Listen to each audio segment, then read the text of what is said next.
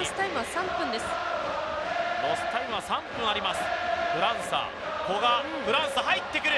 足が止まってるレッツ。フランサから。フリーだ。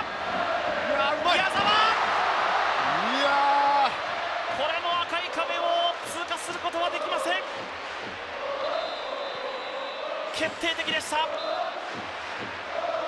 プラティニを思い出しましたね、えー、胸でトラップしてそして反転してシュート。このボールをですね胸でトラップ、えー、キックフェイントですよね。長谷部ですか、えー、ユベントス時代のプラティニ、えー